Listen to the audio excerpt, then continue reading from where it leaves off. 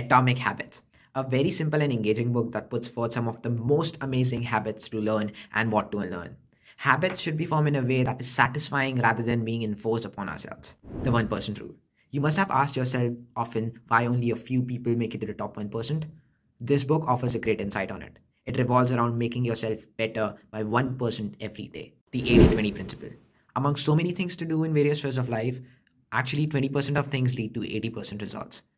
This provides a mind hacking approach to improve your productivity and growth by multifold. Eat the Frog, an amazing book that describes overcoming the most common and difficult challenge of our lives procrastination. It has 21 practical ways on all you need to discipline yourself. Now, this book is quite special and rebellious. The conformist society tells you to compromise your choices, choose a monotonous life, save and invest small amounts of money till 60 years to enjoy the rest of your life.